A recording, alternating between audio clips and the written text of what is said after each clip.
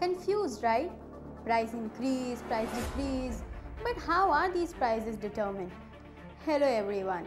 This is Krina Shah from Polymer Update and in this video I will explain you the breakdown of costs to determine the market price of petrol and diesel in India.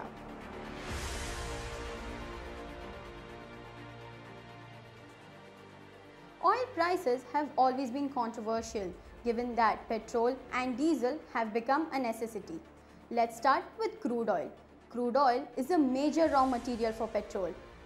At present, 75% of India's crude oil needs are met through imports from OPEC nations and oil is a dollar denominated commodity which is why international prices of crude oil and foreign exchange rates are the base components in determining the price of petrol at home.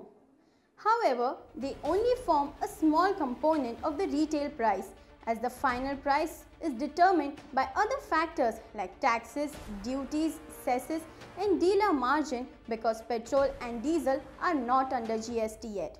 Let me explain you the breakdown of cost for petrol with an example. First, barrels of oil are imported. One barrel is equal to 159 liters. Supposing the price of crude oil for the day is 21.57 rupees. Add ocean freight and transport charges rupees 8.35 and refinery transfer price 0.50 paise.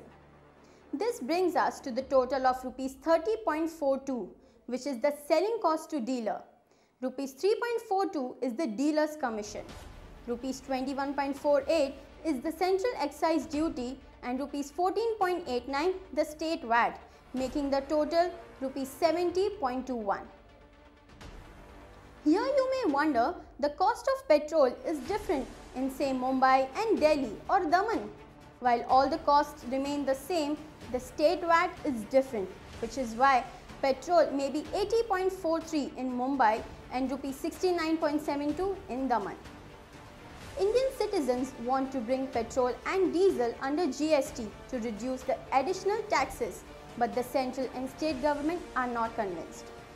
Lately, oil prices have been increasing due to the synchronized global growth upswing, limits on supply, decline in the US shale rig count and the heightened geopolitical uncertainty in the Middle East. If the trend continues, India will suffer as negative terms of trade shock will weaken the growth, push up inflation and the GDP will fall.